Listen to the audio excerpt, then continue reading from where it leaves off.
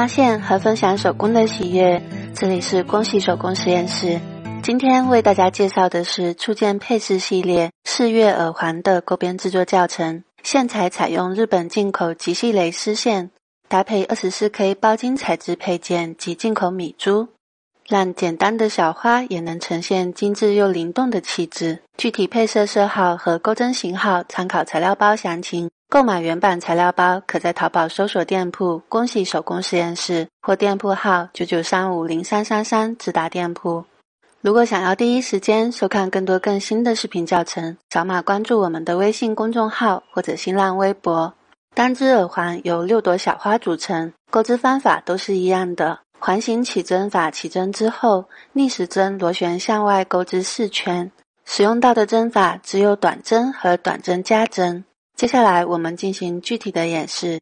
首先进行起针，将线在左手食指上绕一圈，右手将线圈取下。接着将线在左手小指上绕一圈，从食指和中指间穿过，将线圈转移到左手的大拇指和中指上。右手拿起钩针，钩针穿过起针的线圈，绕线，拉出。再次绕线，拉出，这样起针就完成了。接着钩短针，钩针穿过线圈，绕线拉出，钩针上有两个线圈，再次绕线，直接拉出，这就是一个短针。我们在这个短针上方 V 字形的两根辫子上放一个记号。这里我用铜丝来做标记，大家也可以用其他较为细的别针等来做标记。注意是同时穿过针目上方的两根辫子。接着继续钩短针，第一圈一共是六个短针。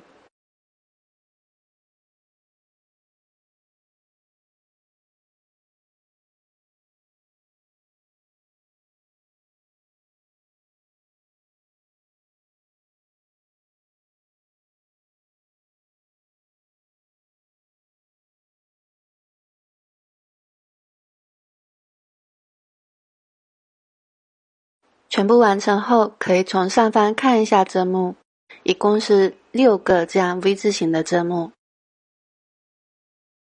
接着放开钩针，我们收一下起针的线圈，直接将线头拉紧就可以了。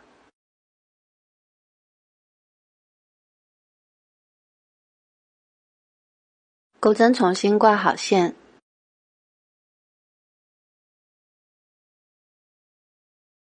接着开始第二圈，钩针穿过之前我们做好标记的第一个短针针目，这里可以先将记号取下，注意将起针的线头放在钩针的上方一起收进去，接着钩短针。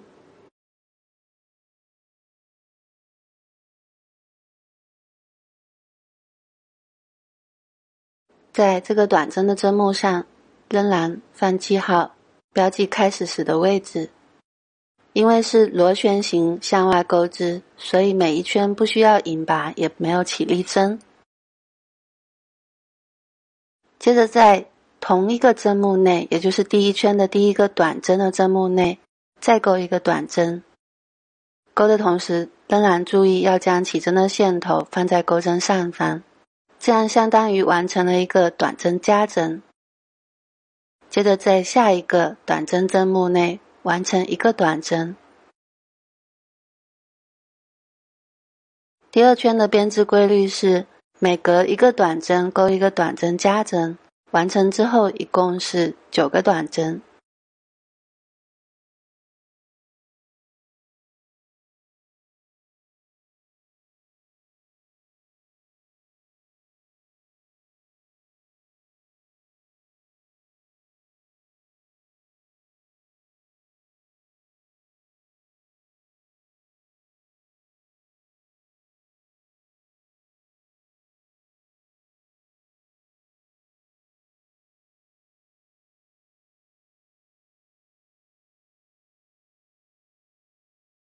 这里已经完成了最后一针，接着开始第三圈，在开始时记号的第一个短针的针目内勾一个短针。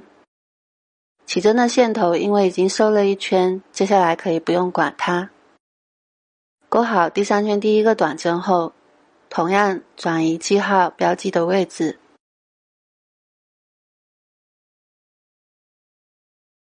接着在下一个针目上勾一个短针，在第三个针目上勾一个短针加针。第三圈的编织规律是每隔两个短针勾一个短针加针，完成之后一共是十二针。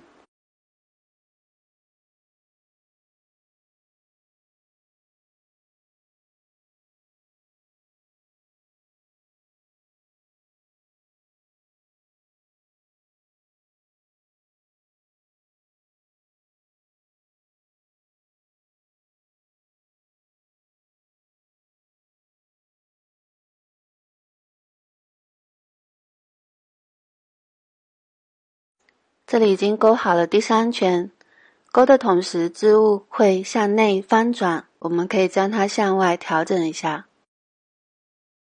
接着开始进行第四圈，也就是最后一圈。第四圈的编织规律很简单，在上一圈的每一个短针针目上不加不减的勾一个短针，完成之后同样是十二针。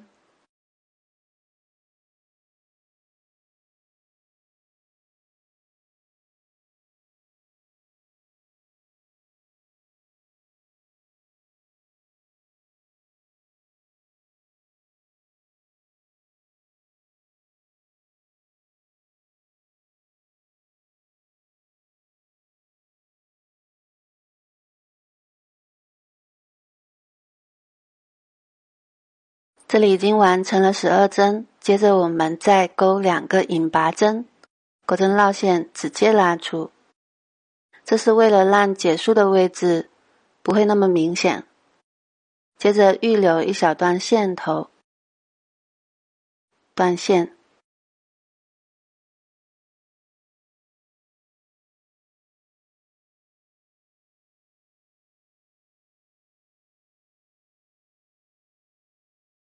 接下来我们收一下线头，大家可以用针穿线来收，也可以像这样用钩针在织物的纹理中将线头收几针。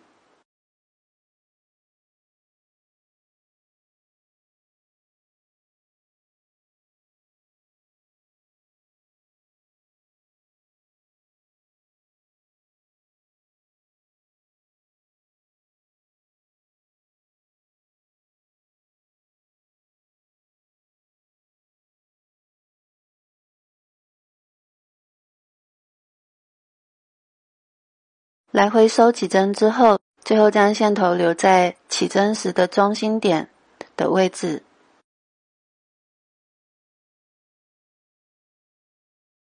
接着修剪多余的线头，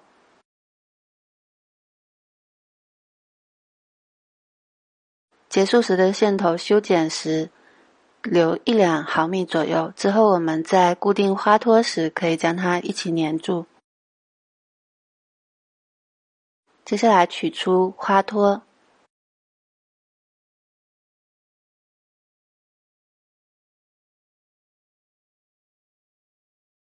用胶水在花朵的中心点涂抹，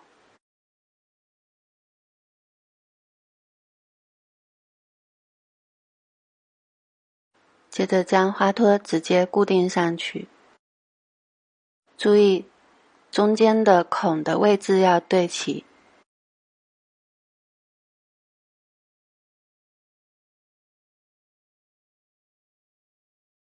接着取出花枝的用线，先穿上一颗同色系的米珠，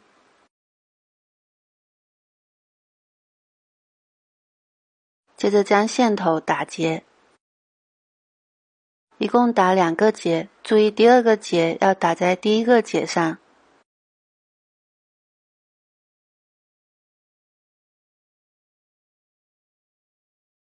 这样米珠才不会松脱。接着将顶端修剪再剪下十公分左右的一段。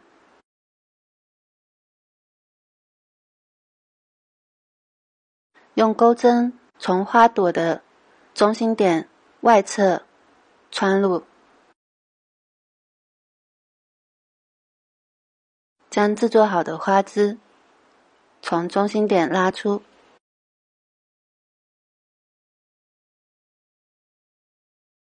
这样一个花朵就制作完成。制作好其余的四朵之后，我们要将这五朵花固定在一起。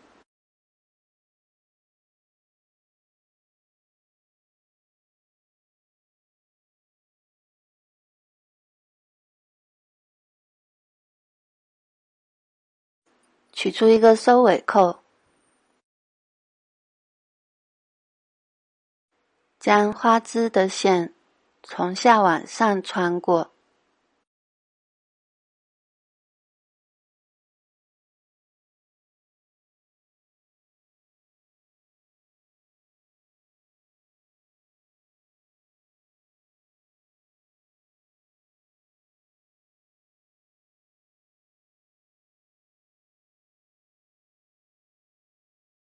全部穿好后，调整一下花朵的位置。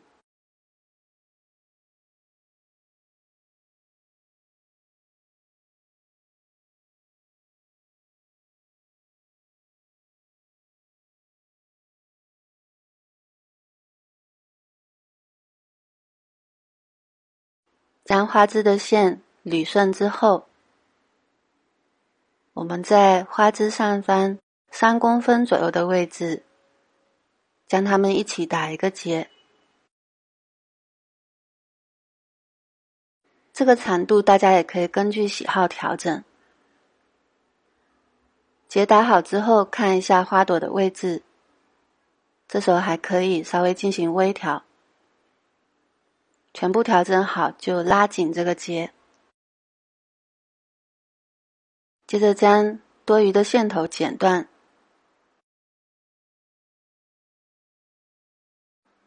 用胶水在剪断的部分涂抹，防止松脱。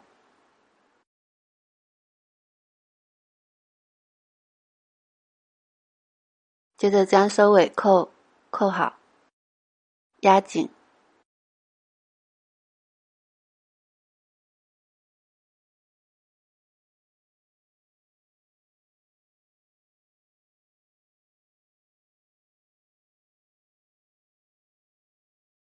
接着，我们来固定耳钉部分的花朵。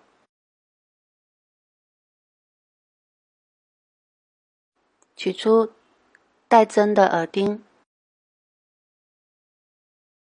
在耳钉上涂上胶水，将花朵直接固定在耳钉上。耳钉的针从花朵中心穿出，取出一颗米珠。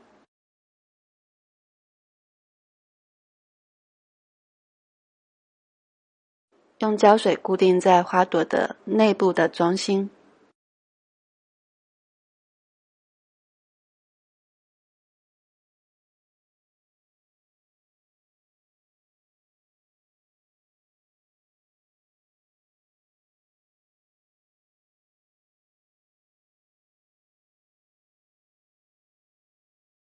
最后，我们将花束固定在额堵上，取下额堵。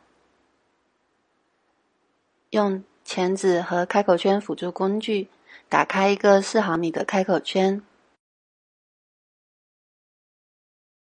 将这个开口圈固定在额堵上。注意，因为额堵较薄，如果开口圈的开口没有固定的非常紧密，会容易丢失。接着取出另一个开口圈，固定在。收尾扣上，同时跟耳堵上的开口圈连接，这样配件就安装好了。